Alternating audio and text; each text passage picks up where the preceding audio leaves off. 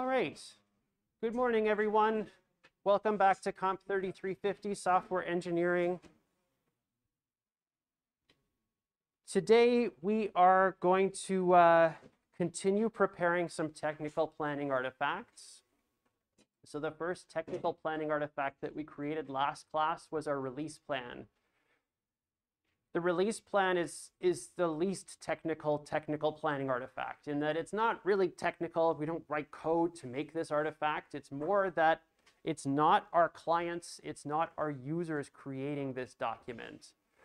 So the fact that it's somebody on our team, our project manager or us that's making this specific artifact, the release plan, that's what's making it a technical planning artifact.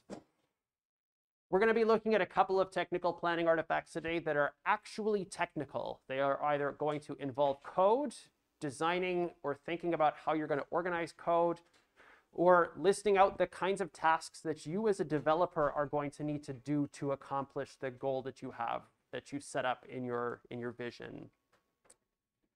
The other thing that we're going to start looking at today is, uh, is version control. So you are all using GitLab right now, but you're not necessarily using it as a version control tool. You're primarily using it as a project management tool, a way to keep track of the stuff that you need to do for this project. GitLab and Git are version control software tools, and you're going to be using this extensively throughout the term to work with your team. So we're going to be spending some time today thinking about how we're going to use that. So uh, first things first, I just want to quickly take this whirlwind tour of our n-tier architecture to kind of remind you of where we were at last class. And uh, just to give you a sense of, of what we're looking at in terms of building up an architectural diagram. So there are a bunch of different kinds of software architectures that are used frequently in software development but we're focusing specifically on one architecture. And that architecture that we're focusing on is the n-tier architecture. The idea of n-tier architectures are that we're separating our code logically into layers or tiers, and each tier has a single responsibility, so a single kind of responsibility.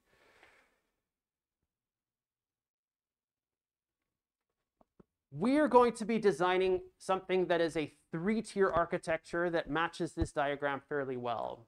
So the presentation tier, this is going to be where all of your Android-specific code is going.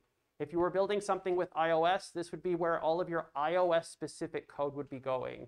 If you're building something on the desktop, this is where all of your desktop-specific stuff would be going. So either like Java Swing, or if you're doing something with on the command line, this is where all your command line stuff would be going. Printf and scanf. That's where all that stuff would be going, is in the presentation tier of this, uh, of this architecture. The logic tier is basically the stuff that makes your products do what it says it's going to do. This is the code that makes your product your product. The data tier is going to be the, this is also called the persistence tier, and I'm, I'm probably going to call it the persistence tier because that's just what my mind wants to call that uh, based on my experience. The data tier and the persistence tier is where all of the code related to taking the data that you've created or the data that you're working with and putting that into a database. So persisting that into a database and, and sticking it in the back end. The primary reason for doing this, or for separating our code out and organizing it this way, is for reusability. The theory of this is that I should be able to rip off the Android presentation layer and replace it with some other presentation layer and not have to change any of this stuff. The theory is I should be able to build a persistence layer that doesn't persist anything. So it's just a pretend thing that you're working with at the beginning. And you should be able to replace it with an actual SQL database without having to change your logic or your presentation layers. You will do this in practice in this course. The persistence layer that you're going to start with in iteration one is going to be non-persistent. It's not going to persist anything. It's just going to be like an in-memory storage system. You'll be using like HashMap or ArrayList or something to keep track of your objects. And then moving into iteration two, you're going to rip that backend off and replace it with a SQL-based persistence thing, a real relational database. And the idea is you won't have to change your logic tier and you won't have to change your presentation tier to be able to do that. The diagram that I showed you doesn't really include the idea of the data model. The data model is the object set, the class set that you're creating that represents all of the things that are in your system. So the type of user accounts that you might have, the quizzes, the workouts, the recipes, the ingredients, all of those kinds of things that you have in your system. The data model is something that's going to be used across all of those tiers, and it's going to be what passes through the interfaces between those different layers.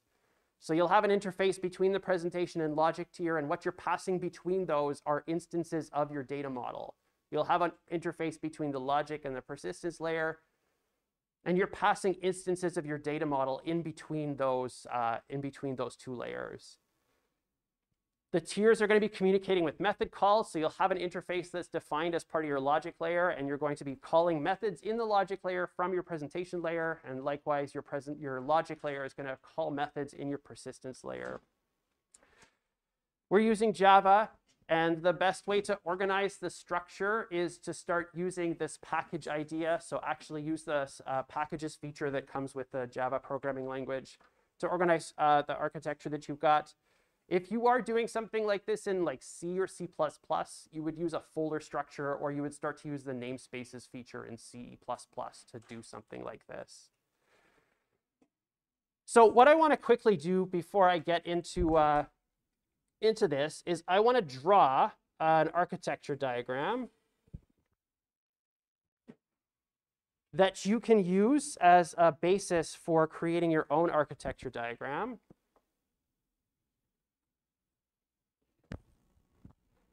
I'm going to draw my architecture diagram kind of sideways compared to that one. That one was like layers on top of layers, and I want to do it uh, horizontally. So I want to have layers beside layers um, instead of vertically.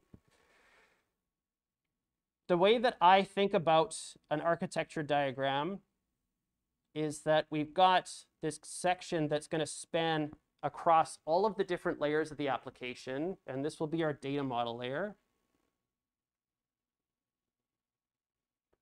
So these are going to be all the classes that are related to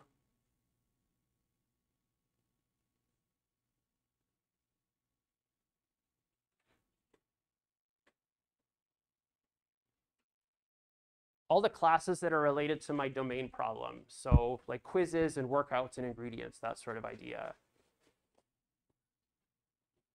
Beneath this, I'm going to have three separate layers.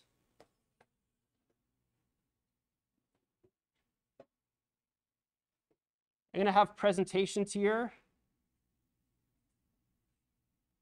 I'm going to have logic. And I'm going to have persistence.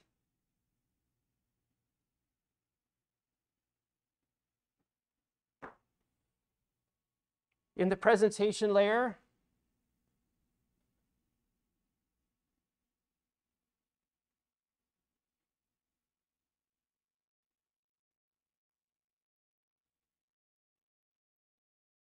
Is that what? No, that's not what it looks like at all.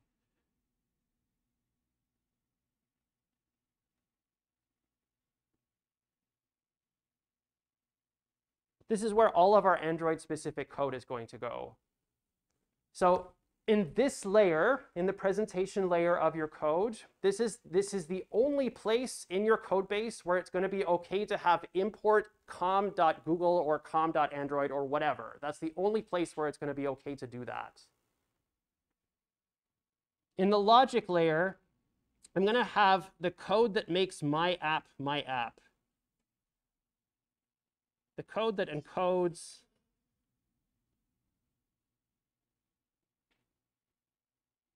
the rules and operations that I have for my system.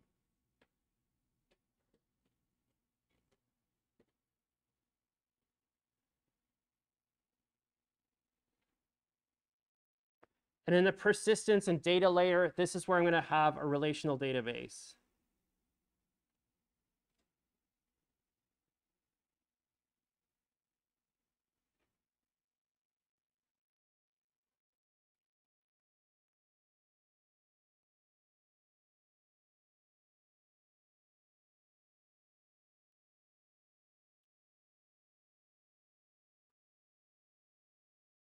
Like a hash map. Similar to the presentation layer being the only place where you're going to have import com.android or whatever, this is the only place where it's okay to have SQL statements and SQL queries. This is the only place where you're going to do in, inserts into tables. This is the only place where you're going to have selects from tables. Inserts and selects do not belong in the logic layer. Inserts and selects don't belong in the presentation layer. Inserts and selects do not belong in my data model. They only live in this persistence layer. That's the only place where they're going to go. I'm going to leave this up. And what I want you to do is either, either, this is your choice now, take the list of class names that I have here for NotFlix and based on these class names, decide where in the architecture diagram they belong. Or alternatively, just start naming classes for your own project. Start planning the things out. Start coming up with the names of the domain model objects that you want to use. Start thinking about how you're going to do presentations. So what kind of classes might you want to have for presentation? Think about which things you're going to be persisting and which things you're going to be uh, using as kind of a logic layer. I've got another option for you. The options that you have for creating this diagram right now are to take your vision statement here. It's pretty full on the front side, but we are going to, uh, we're going to keep using this same piece of paper. Here's a trick. Fold this over and then you can stick it backwards on the wall and you can start drawing on the back and draw your architecture diagram there. If you're going to use the architecture diagram on here, I would suggest that you also use sticky notes so you can quickly remove and replace if you want to move a class somewhere else. Or alternatively, you can use uh, Mermaid to create an architecture diagram. Uh, let me just quickly open this. GitLab can render uh, mermaid diagrams in README files. What I would suggest that you do if you are going to do this, this is from my 2150 class. We're doing this, uh, I, I don't know why I picked this really terrible example of this bank account thing. It's really lame and boring. It's really, really lame and boring. And so I've decided today that uh, we're going to start making a Pokemon thing and I brought my Game Boy and I'm gonna like turn on my Game Boy and like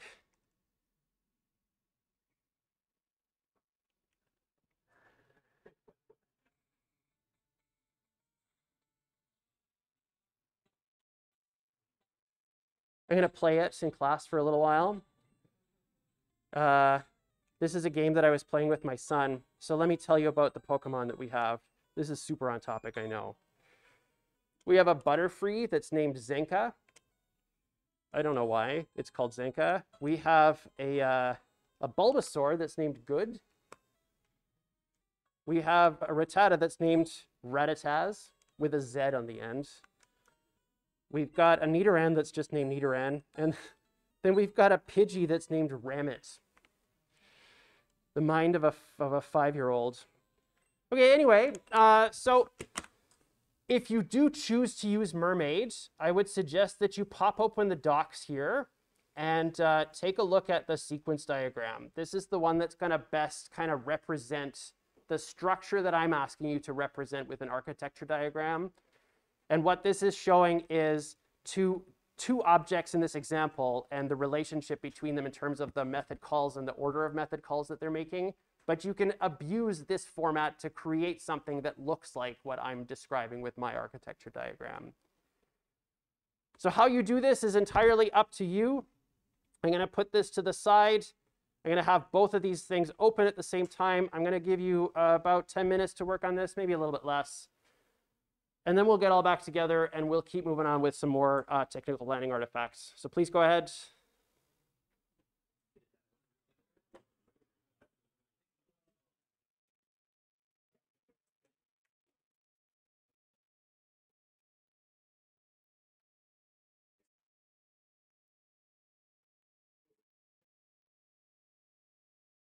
Oh.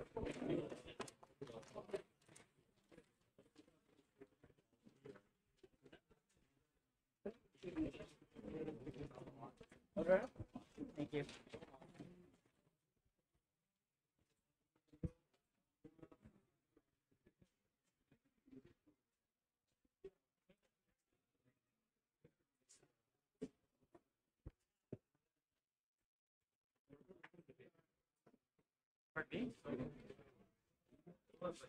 Oh, um, just can you all hold on for a second? If if you do not have access to GitLab, if anyone in your team doesn't have access to GitLab for some reason, please let me know before you leave today so that I that we're all connected to GitLab. Okay? If if everything's good, great. I'm just going on. You're okay. Uh, but if somebody doesn't have access, please come and talk to me. Okay? All right. So, uh, what I'm going to say about this, I think this is going okay. The exercise that I'm asking you to do here is basically think about the data model that you have. And what I would suggest that you do, so I'll have to let you do the rest of this architecture diagramming on your own time with your team, but as you're building up this architecture diagram, the pattern that I would suggest that you follow is come up with your data model. The data model is, it's everywhere. It's in every single layer of this architecture. So the data model is going to be the primary thing that you should be focusing on. Once you have a data model, then start to make corresponding class names for that data model. So let me give you an example here. In this Notflix, I have a video class. This is the name of one of the things in my domain model. It's, I've got videos in my domain model. I'm going to put video in my domain model here at the top. And then in the presentation layer, I don't have it here, but in the presentation layer, I might have something like video view. So this is going to be my Android class for viewing videos. In my logic class, I'll have a video manager. So I take video manager here and I'd stick that into the logic layer. And then video storage, this is going to be what I'm going to put into my persistence layer. This architecture diagram, this is a good way to get you started thinking about the kinds of classes that you need to make for what you're doing, but it's got to be a living document. So this is something that you should be making changes to as you're changing your code.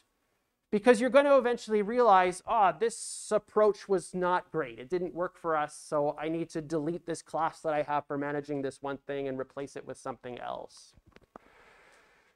I like mermaid diagrams for what it's worth. I'm not suggesting that you use this, but I like mermaid diagrams for this purpose because they're plain text. And version control that we're going to see later works a lot better on plain text than it does on like a PDF or something that you're drawing on. So that's my, that's my personal preference there. I'm not saying you have to use this, but it makes it a little bit easier to do um, managing with version control. Okay, so let's move on here. At this point, we've agreed on what we're going to build. We've got that high level planning overview. We've created epics and features. We've got user stories. We've thought about when we're going to build it. We started creating release plans for the iterations that we're going to do. We started organizing user stories into iteration one. We started organizing features and epics across the rest of the releases that we're planning on doing.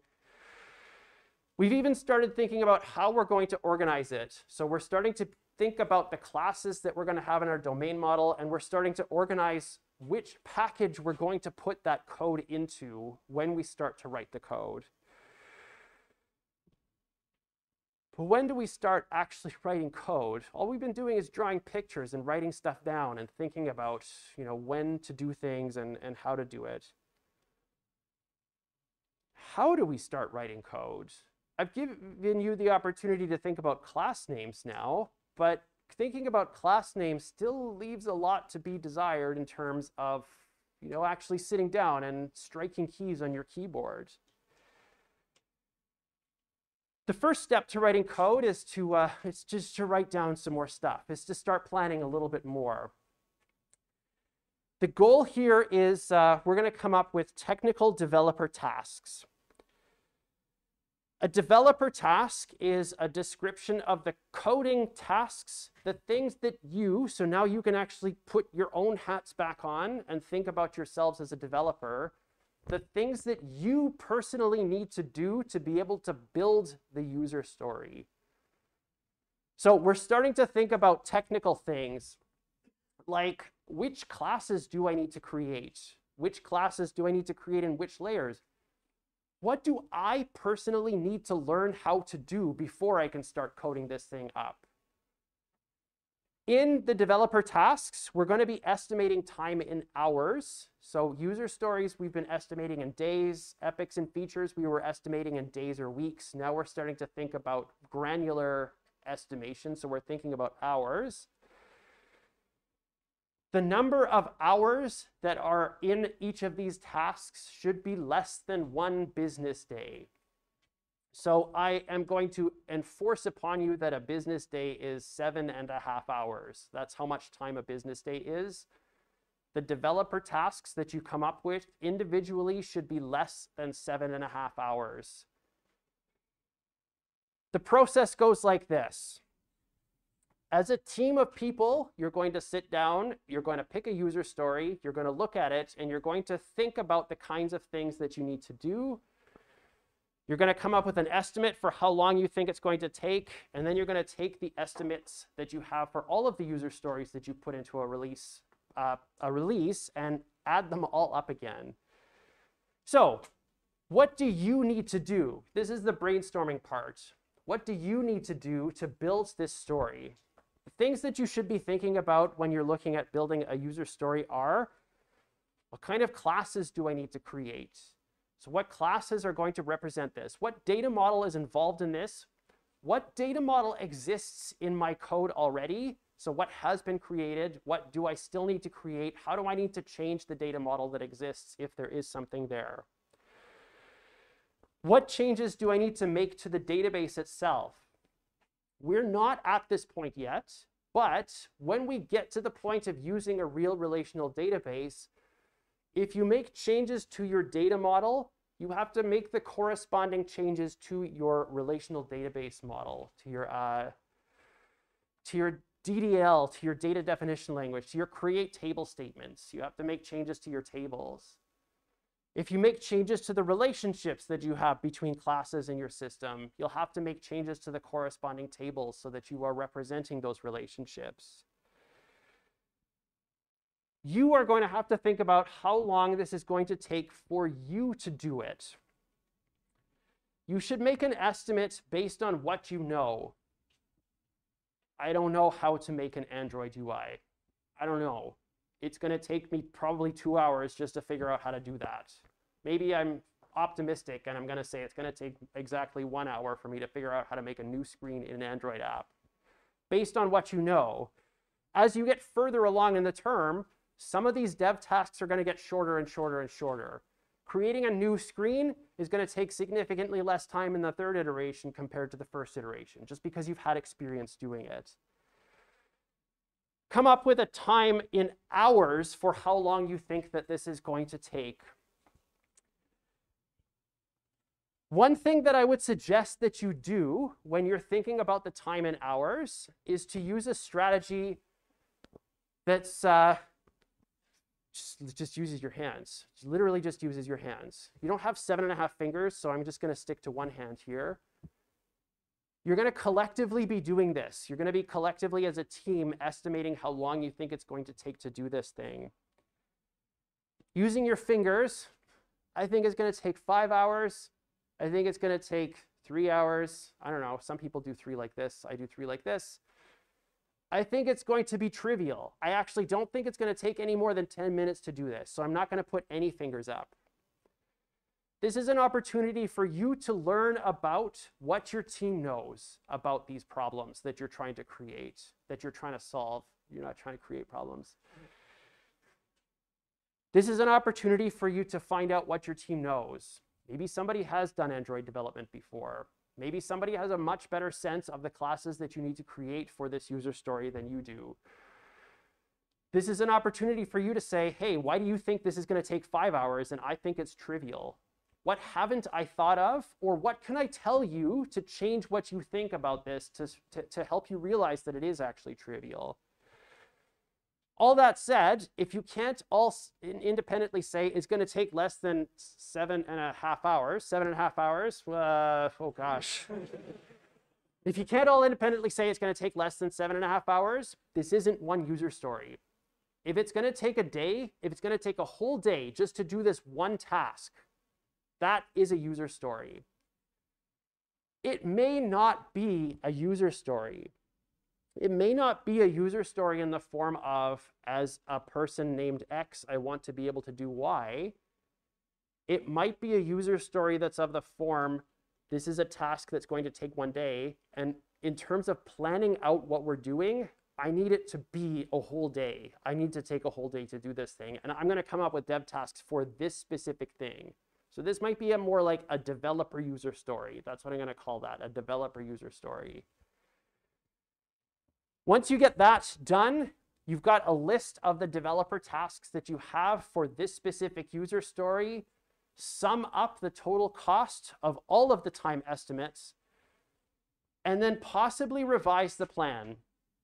Make new user stories, take user stories that you thought you were going to do in iteration zero and move them to another iteration. You don't have enough time to fill up, you don't think, move features from iteration two down into iteration one. Make changes to your release plan as necessary based on what you've learned about the estimates that your team is coming up with. The tools that you're going to use to do this are post-it notes. You've got lots of those. wall, there's four of those around this room. And then you're going to be using a pen to order some of the tasks. You're going to have priorities, so pick up the user story that you think is the highest priority and pick up the user story that doesn't have any dependencies. This is the one that you can just start working on without having built anything yet. Pick up this user story and start working on that task. As you finish solving dependencies, we've estimated all of the tasks for this user story. We can move on to its dependent user stories, the one that requires it to be finished first. So what I'm going to ask you to do is take a look back at the course webpage. I've got those user stories for Notflix if you want to use those, but I would suggest that you just pick up your own user stories. You have user stories that you created for your projects. Start coming up with dev tasks for those user stories. I'm going to put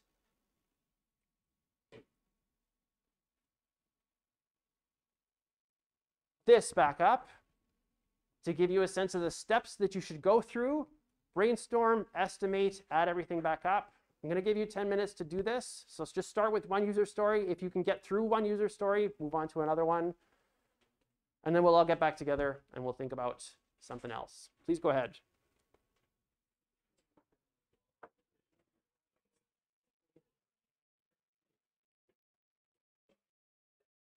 Oh, uh, sorry.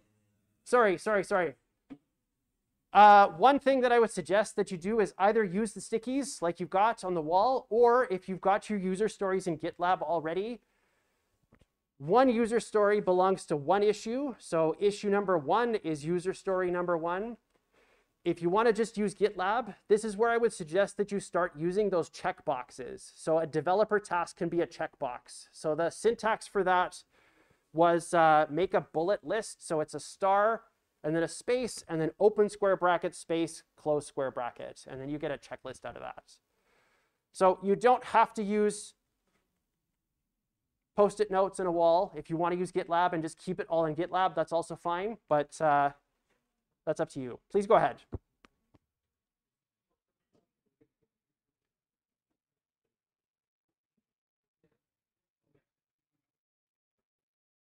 Okay, thank you. So things things seem to be going okay. They seem to be going okay. I've been around to see a bunch of teams, and it looks like we're doing okay with uh, with everything. There's a couple things that I want to to bring up uh, specifically about issues and um, and GitLab. One is uh, what I would suggest that you do. I'm not going to require you to do this, but I'm making the suggestion because it's going to make my life easier if you do this. It will make my life easier, and if I'm happy, you, will be happy. Uh, if you're making epics, so this is, let's call this my first epic. This is what my epic is. And I create this new issue. What will be helpful for me is if you create your user stories. So I'm going to make a new issue. This is my first user story. It would be helpful for me if you write something like, this is part of epic number one. When you render this, so when you see this, that turns into a link. That's going to help me know which user stories belong to which epics. That's going to help me see that better. The other thing that I'm suggesting that you do, and this is actually kind of up to you, is uh, dev task one, two hours, dev task two, one hour, something like that. That's one option. And then when you create that, you've got bullet uh, check marks here. And I have to be really honest, it's been a while since I looked at GitLab. I didn't know that there was a tasks right in the issue. I didn't know that was there. If you want to use this, if you want to add tasks in uh, this system this way, that's also fine. However, you as a team to decide to, to do it is up to you. Just make sure that it's done. That's, that's what I'm suggesting. So the main thing that's not really stated anywhere that it would be really helpful for you to do, you're not going to lose points if you don't do it, but it's going to make my life easier, is if you relate your user stories back to the epics by using that number sign format.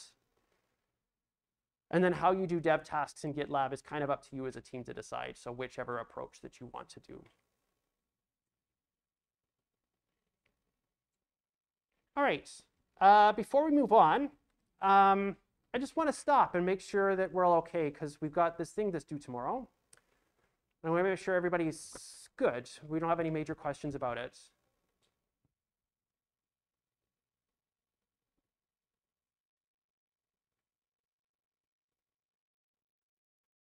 Eleven Mississippi, twelve Mississippi, thirteen Mississippi, fourteen Mississippi, fifteen Mississippi. Okay, good, good, excellent. All right. So I'd like to move on the part that we're going to be talking about starting now is not really going to be something that you're using yet. You're going to start needing to do this next week when you're starting to work on actually coding. But I want to start getting this out of the way now. I'd like to start talking about this now so you have at least something to work with when you're starting to do coding. Before we do that, I'd like to uh, oh, you know what? I need to restart this. I made a terrible mistake here. I don't want this to be a team-based thing. I want this to be an individual-based thing. This is a poll. I would like you to tell me a little bit about your experience with Git and version control. So this is for everybody to do independently. This is not a team task. All right. So this is, this is as much for me as anything else. What I'm assessing here is I want to know how much experience you have with version control, and I want to know how much experience you have with Git. And that's going to help me decide kind of how detailed I want to be about telling you about version control and Git. So let's get started with that.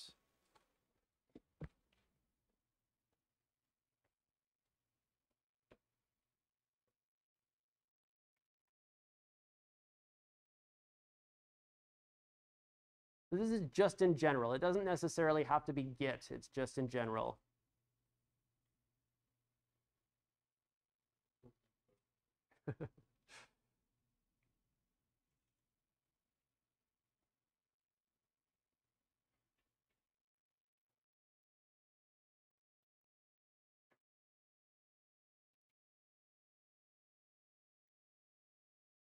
okay.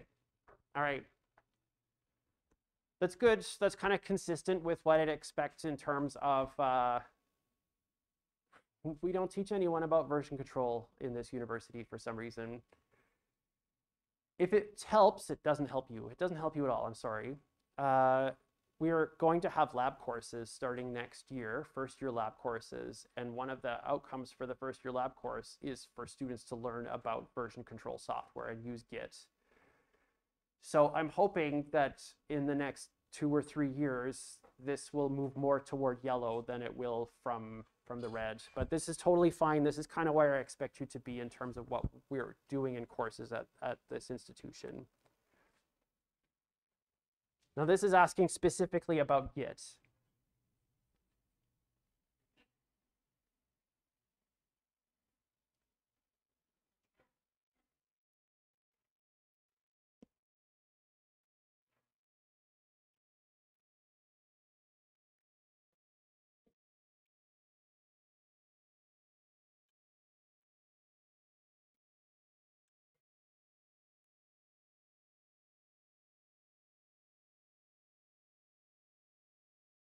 Okay. All right. Okay. So this is, like I said, this is approximately where I'm expecting expecting everyone to be. Aware that it exists primarily is where I'd expect most people to be.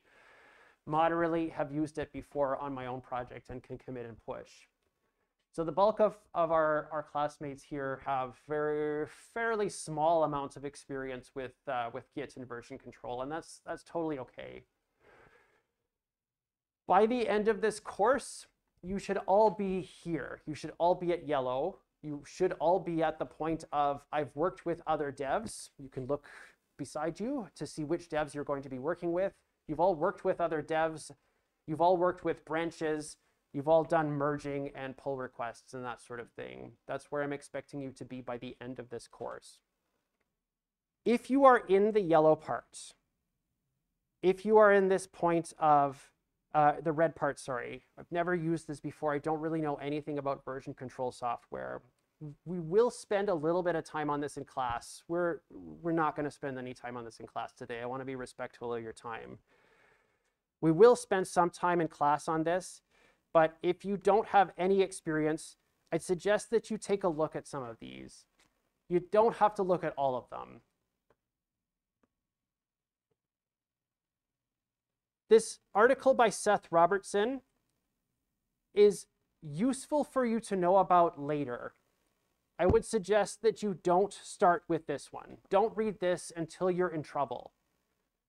By in trouble, I mean you've got a Git repository and it's in a state where you, you can't commit to it, or you, you're trying to pull from somewhere and you've made a mistake in what you're doing, or you push changes that you didn't intend to push in the first place.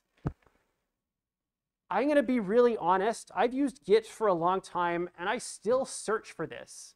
The choose your own adventure guide on Git. Like that's the terms that I'm using to find this article when I run into trouble with version control. Better explained, these two articles, they're okay. I'd say they're okay to get started. They're reasonable descriptions of what it's doing. The Git tutorial on GitHub itself this one used to be really good. it used to be really good, and then they changed it to something else. It used to be this interactive tutorial, and now it's more just like getting started with, uh, with GitHub and stuff. The quick start is a good way to get started. This is a good way to get started. Yes, this is talking about GitHub, but this all literally just directly applies to GitLab in exactly the same way. You're just changing URLs for the repositories that you're talking about. This, uh, this one, this is me telling you about the stuff that I've done. This is what's going in the lab course. So in the first year, we're going to be expecting students who are taking this course to be able to use Git on the command line. Uh, and this is kind of telling us a little bit about what, uh, you know, initializing a project and stuff. You already have projects. You created these project repositories on GitLab. So you're kind of starting a couple levels above what this is talking about. But I do say a little bit about, you know, what version control is and what Git is in this, uh, in this article. So what I'm going to ask politely is that if you've never ever used version control before, that you spend at least half an hour reading one of these articles for next week so that we can just get directly into talking about branching strategies. That's where I want to be next week is talking about branching strategies with your team. So deciding how you're going to go about doing development itself. With that, I'm going to skip ahead here. And I hope that you all have a great weekend. And uh, I will see you next week. Bye, everybody.